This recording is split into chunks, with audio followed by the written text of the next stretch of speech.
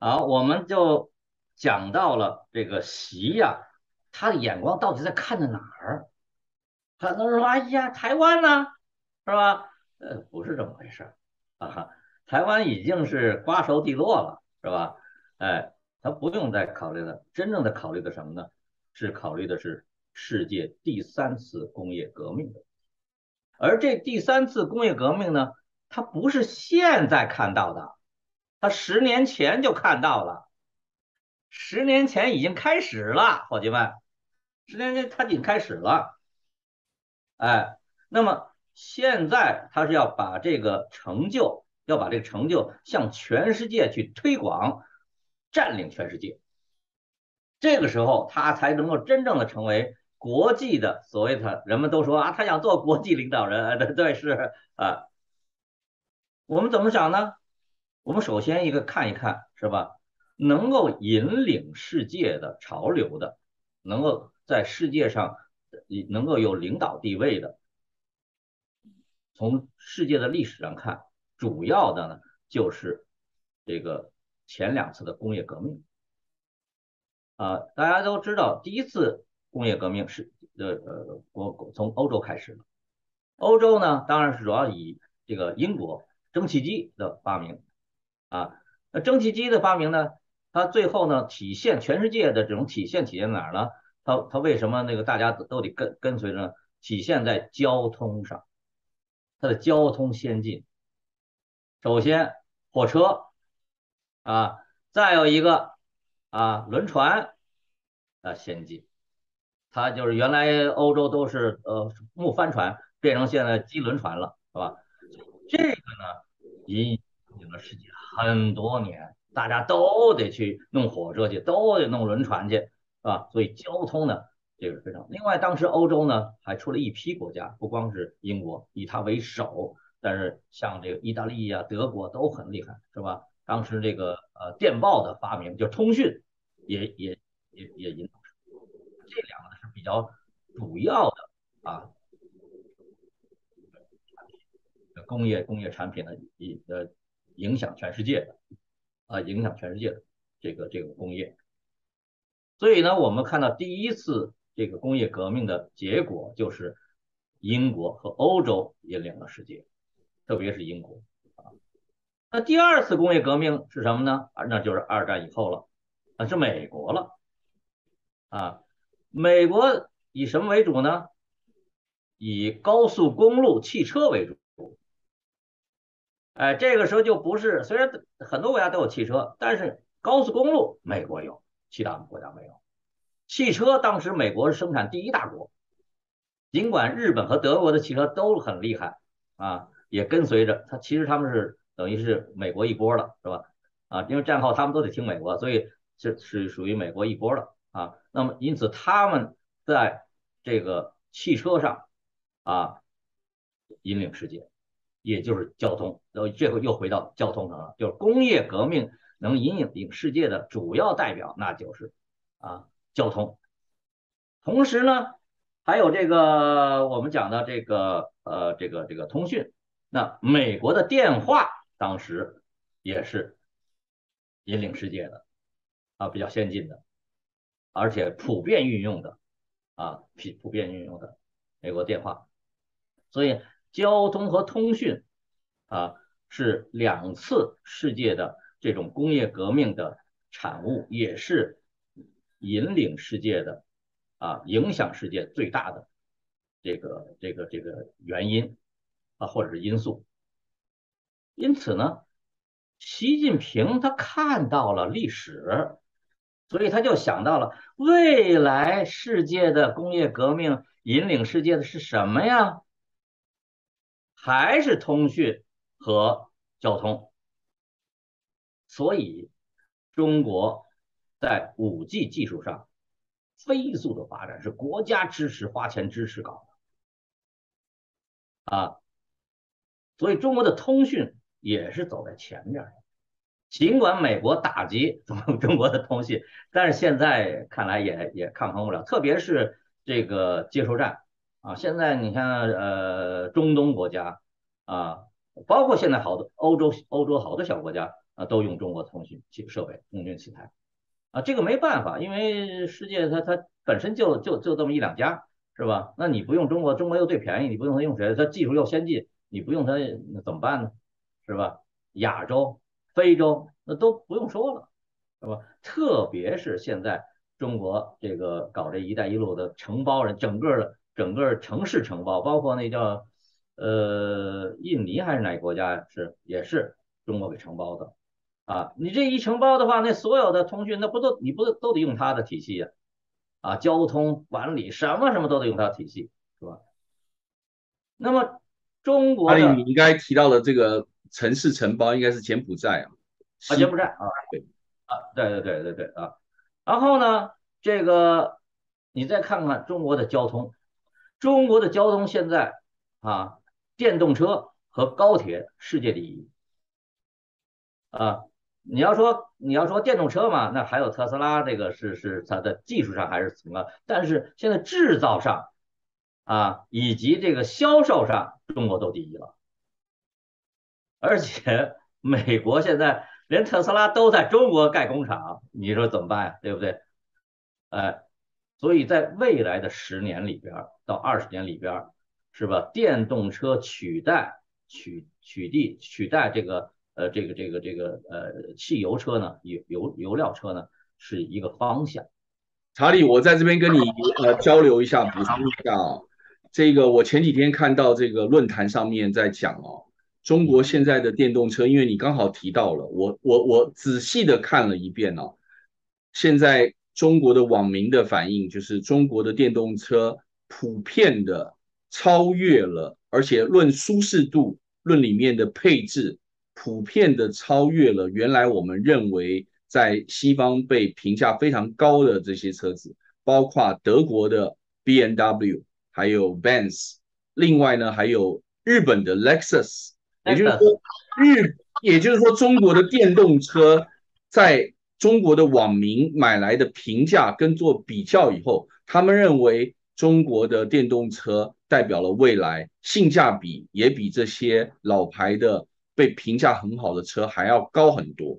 这是我对你做的一个补充。哎，太好了，这你这好，我我还没有这方面的这个 呃那个信息啊，太好了。那么这个就它代表。世界的未来啊，交通还有呢，高铁，高铁更了不得了啊！为什么高铁原来德国和日本非常厉害，现在全都完了，全全都打不过中国啊！中国现在排第一，而且高铁还有一个重要的问题，你高铁还有一个建筑铁路的问题，这个基建，那德国和日本。跟中国就不能，应该是法国跟日本，法国的 GVC 跟日本的子弹列车。对，那对对，那那那说错了，那那就那那根本就不能比了，简直就是，啊，根本就不能比了。所以呢，现在连美国都抗不住，都得要用这个这个高铁了，啊，因为这个速度啊就是金钱呀，是不是？现在速度越来越快啊，所以。那么世界的未来，你你欧洲你要想发展，你不用高铁怎么行？现在不要说你了，中东都高铁了，台湾都高铁了呀，是不是？啊，那那那那那个非洲都要高铁了，那你欧洲能抗得住吗？欧洲你不搞高铁，美国不搞高铁，不搞高铁，你将来就落后落后于别人了，啊，那你就落后于别人了，所以。未来十年到二十年，占领世界的交通能够代表交通的，那就是中国，就是让当年的英国、当年的美国、当年英国的这个这个这个这个火车啊、轮船，还有当年美国的高速公路和汽车，现在中国就什么呢？现在中国的高铁、铁路，那就是中国建，你别的人你建不过他呀，对不对？哎，高铁你也你你你也做。生产你也不不也也也干不过他，是吧？呃，刚才你说了，哪里中国真的现在走国运啊？我真的觉得，我再做一个补补充哦，这个高铁哦，一般来讲哦，就是大家啊，真正去想的话，它有几个重要的呃元素存在，其中人口密度是非常非常重要的。你高铁哦，还不适合在澳大利亚。或者是不适合在美国的内陆农业州进行，因为搭乘的人不会多，你肯定亏钱。所以高铁一定要在人口密度密集度够的地方来做，才能够成功，才能够继续营运下去。包括很多现在这个在呃中国大陆的这个高铁的路线啊，其实是国家补贴才能够继续营运的，不然的话它是没办法的。所以高铁占了这么一个便宜，就是这个传统上面东亚的这种人口密集的地方，它坐高铁。就能够有这个继续所谓的 sustainability，就是呃这个可持续性。而在西方啊，尤其是在欧美有些地方，它的人口密度不够多，它真的就没有办法去坐高铁。嗯，对。那么这个呢，也是有一个先条件，所以呢，说明呢，怎么呢？后边当你整个社会发展的速度的时候，你就你就会没有人家快。所以亚洲将是发展速度最快的地方啊！这个你现在也已经看，先看现在目前那个呃呃这个东盟呃这个上半年的这个贸易额远远超过其他地方，远远超过了，是吧？本来那应该是欧盟第一，现在东盟第一了，欧盟欧盟给比下去了已经，知道吧？所以你就可以看到这个这个这个趋势。那么刚才我们就回回到这儿了，就是说。这个习他十年前已经就做这个准备了，现在呢已经铺开了。大家就是你不是说那个大家老说什么中国要那个韬光什么养啊？韬光养晦，韬光养晦吗？人家就在韬光养晦十年了，现在已经战争已经暴露了，已经已经藏不住了，只能出来了，对不对？就是美国。为什么说你明年就垮？可是又是我第一大敌人，他他能不是第一大敌人吗？他现在全面占领啊，对不对？你你你你，他说了什么什么三 G 五三 G 了，不是那叫什么那个呃芯片了什么的那那个芯片本来三三就是三寸的那芯片啊，也用的那个它的贸易额也没有十四寸的那用的多，知道吧？呃，当然也重要，可是的话呢，呃嗯。中国早晚它也也也会上去，就凡是科技东西早晚就上去，但是制作可不一定。像中国到现在那个，他们跟我讲，国内那些高层人跟我讲说，到现在传统的一些工艺的制作，中国还是比不过欧洲，这个没办法。但是新兴的都可以了，没问题，就是传统的还是不行啊。那么这讲到这儿了，就是就是你你就可以整个看出来，刚才我们讲到了。这个世界格局在变化，有要用那个用电池在变化，为什么呀？你看看第三次工业革命，这个就变化了，你就知道它为什么在变化。它不能不变化，对吧？引领潮流的现在是中国在引领的，你怎么办？是吧？你没办法呀，这事儿啊。所以刚才我们以前我们都不太了解，说呃中国的变化在哪儿啊？他为什么成为中美国的最大的对手？将来会是吧？而且美国最现在特别害怕他了，以前哪害怕他？害怕什么中国？对不对？哎，那么以前我们讲了中国联盟，然后又又又又又又又又又这个打开了这个亚洲市场，又打开了非洲市场，现在又打开了中东市场，然后就是这些现在跟工业革命第三次工业革命连上了。而这个是更重要的，因为你有了这个，你打开那市场，你才能进入。你没有这个，人家不需要啊，对不对？你有了这个，大家都需要，都需要什么？啊，你你说电动车，全世界都需要，没办法了，你挡你挡也挡不住了，是吧？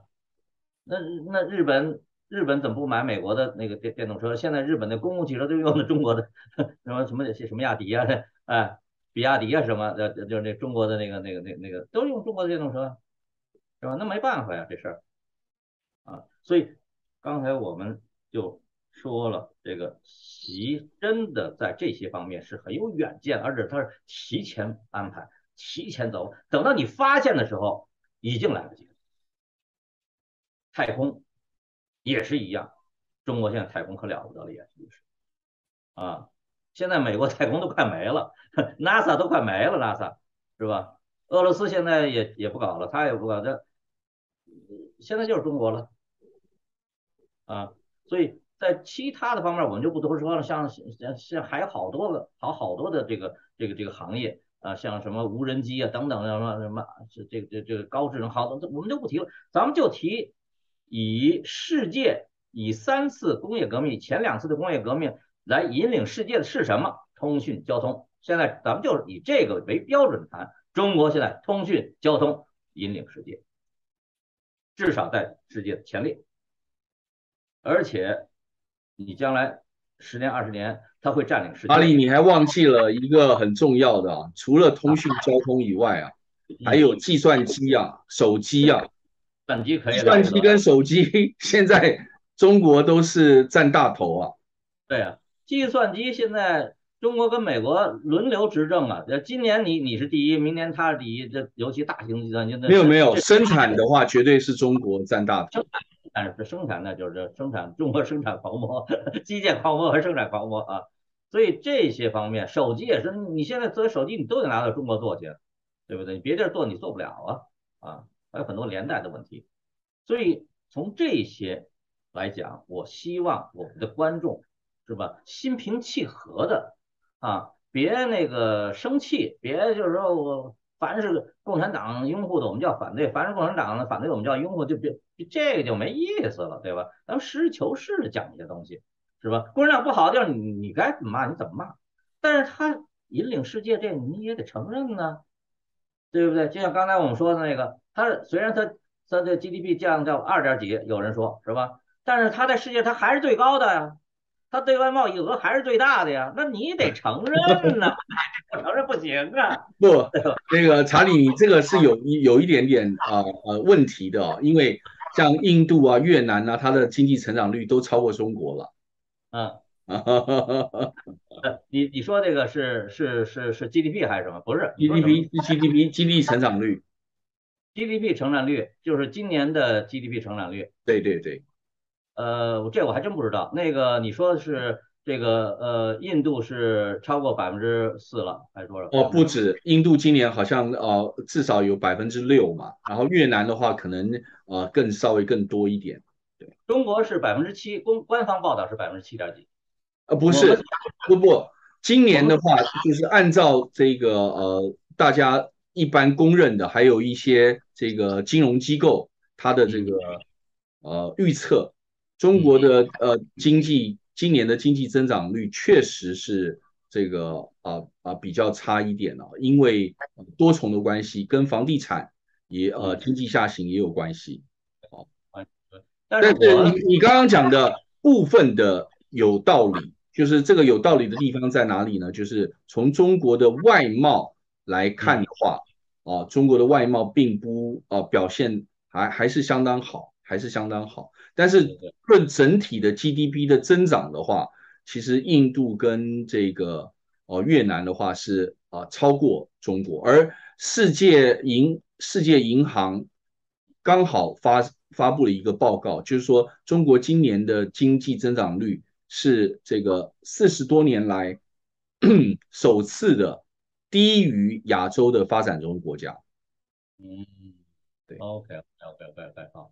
那这个呢，信息非常好，因为我上次呢跟呃我在中国的这个搞经济的朋友呢就谈到这个问题，他就说呢，他说呢，呃现在对外的呢就是很多的就是预测，包括他们自己啊，就说中国的跌到二点几啊，有跌到四点几啊，他说但是中国官方可不是这样，中国官方还是报七点多，中国官方报的还是七点多，所以所以他说这个没有中国现在呃原来定的这个 GDP 增长率是百分之五点五嘛。五这定的百分之五点五，但是它达到七点多，就是定的是百分之五点五。呃，没有没有，今年因为疫情的关系啊，疫情的关系，上半年到现在平均啊啊，就是到现在为止，大概还不到五点五，不到五点五。哦，那这个信息还跟我那朋友说的还不一样。我那朋友跟我说的，他是他们看到的，就是官方信息是，就是今年的还是达到七点多。呃，他他他他告诉我的这个信息，那那那那当然信息不一样，不管他那个了，反正就是说呢，你现在呢，呃，中国的话呢，刚刚才我们讲的话，呃，它的总体的来讲的话呢，呃，那大家都是往下跌啊，都是往下跌的情况下呢，但是它呢，不管怎么着，你刚才我们说的外贸，外贸还是第一，外贸它还是它第一，说明它的生产生产的能力啊还是强于其他的国家啊。但是它自己比较来讲，因为呃越南和这个特别是印度，印度现在它是人口大国呀，我操了不得，简直是啊，所以它的生产现在有很多很多生产也都都都转到它那儿，但是不知道为什么它的外贸额还是不够高。这这个这个越南的外贸额也是不不够高，这这个原因是什么？咱们咱们不清楚，咱们咱们因为我们只能看数据，我们现在只能看这个数据。刚才你说那个数据也非常重要，因为我们得看数据，就是如果数据是这么说的，那你中国你说明你的成长率，越南跟印越南跟印度跟中国比较的话，它有一个很显著的优势，就是它的人口普遍比中国年轻啊，嗯。对，所以呢，它的年轻的人口居多，所以呃，这个内需包括一些，就是中国现在人口啊开始老化，所以呢，人家说这个对对对，啊，差别在这里。对对对，而且中国因为那个呃人口那限制呃成长，原来限制那么多年，所以就没有孩子嘛，就那那不就老龄化了嘛？那这个也是一个也是一个中国的重大问当然这个问题上。呃呃，尤其阶段有有很多的理论都是阶段性的，所以也不能说谁的理论就对，谁的理论就错。我们过去很多，你比如我当年这个呃呃，你像那个我们年轻的时候批判毛泽东就是人口论，是吧？那中国当时呢就是说的马寅初的人口论是对的，毛泽东是错的。结果现在呢人口又需要增加，让说明人人家毛泽东那个人口论也未必就错，现在看还还还行，是吧？哎，那么这个。像这个当年毛泽东提出来的这个超英赶美，那都是我们年轻时候的重点批判对象，是吧？呃，毛泽东死了以后，就成为批判的说超英赶美根本就不可不可行。那现在已经超英，已经就在赶美，是吧？这人家毛泽东没说错呀，对不对？所以我们现在再反过头来看了一些西方国家的一些大的政治家，当年这一百年前就预测呃世界的发展，当时根本就是谁都不搭理，而且认为都是胡说八道的。但现在，哎呦，人家大预言家这太厉害了啊！包括布热津斯基的一些东西，哇，不得了，是吧？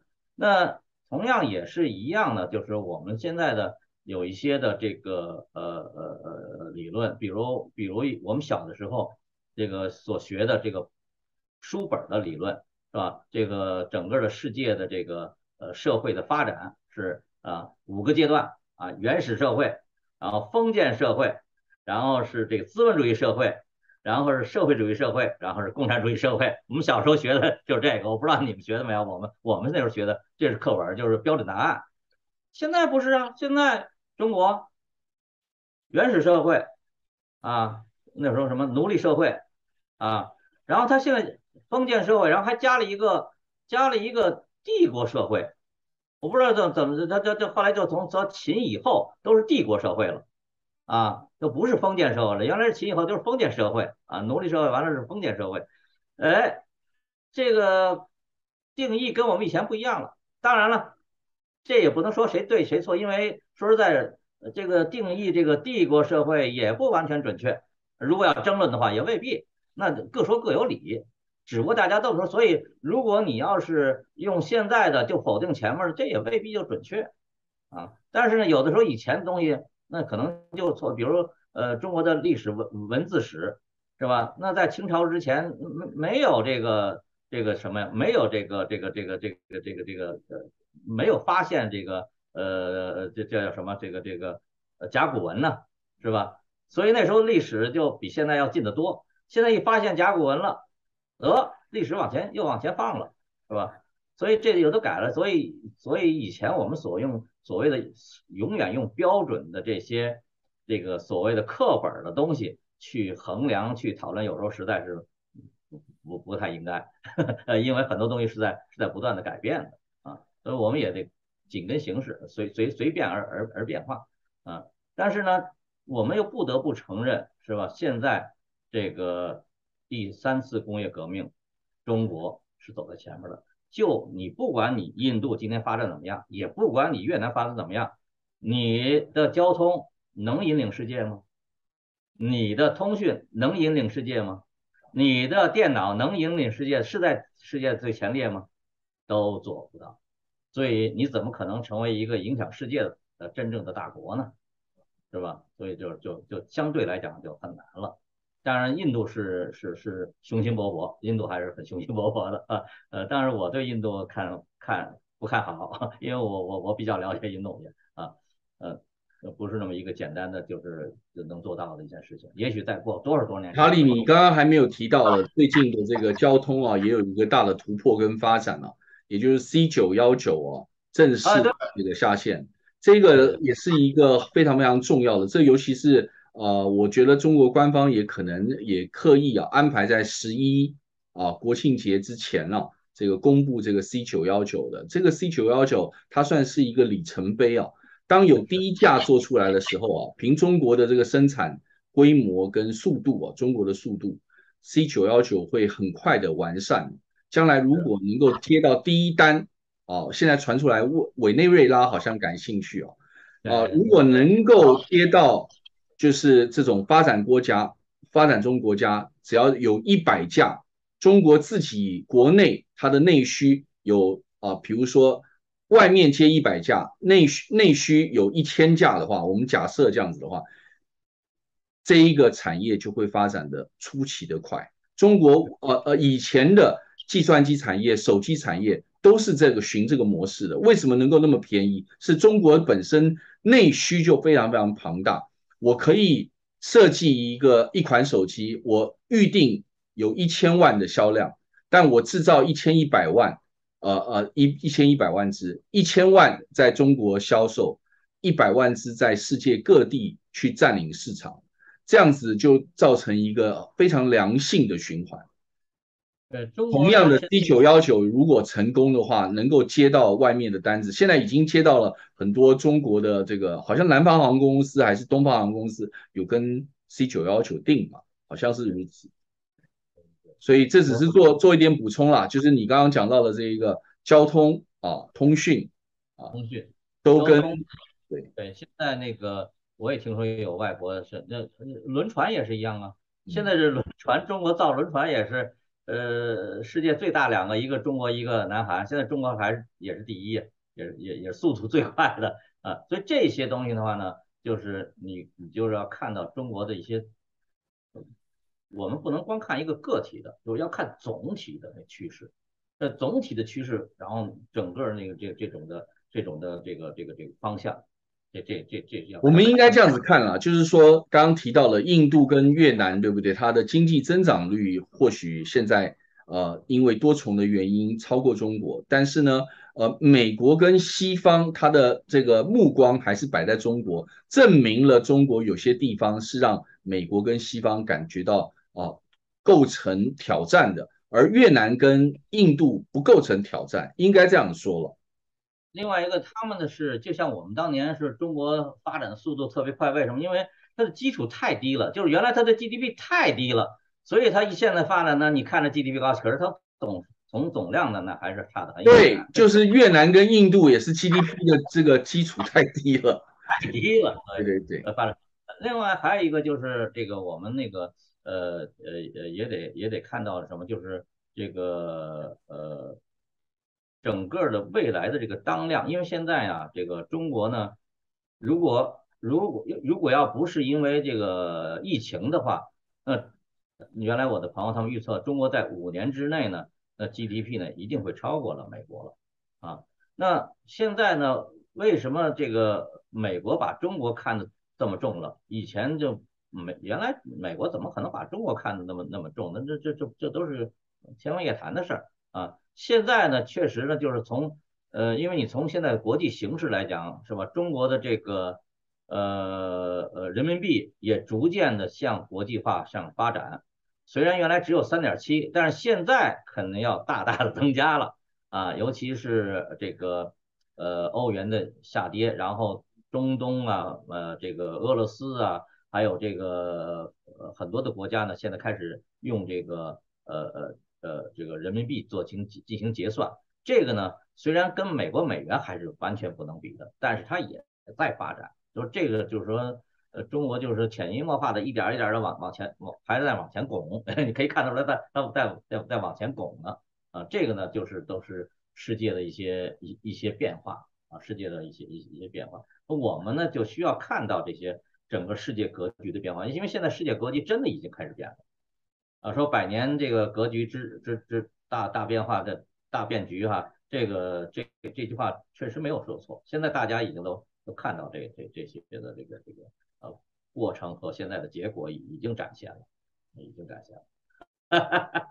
好，今天聊的挺好。好，谢谢这个查理。然后呃，我相信这个观众啊，也会从查理为我们提供的资讯啊，听到很多的讯息啊，包括查理在上次指出了跟中俄之间的关系，以及中国跟中东的关系，以及未来中国的外交战略。我觉得查理说的还是非常非常准确的。今天再度的谢谢彭查理。金融啊画派创创作人哦，创始的人啊来上我们的节目，非常感谢，谢谢大家，谢谢主持人，再见，下次再会，下次再会。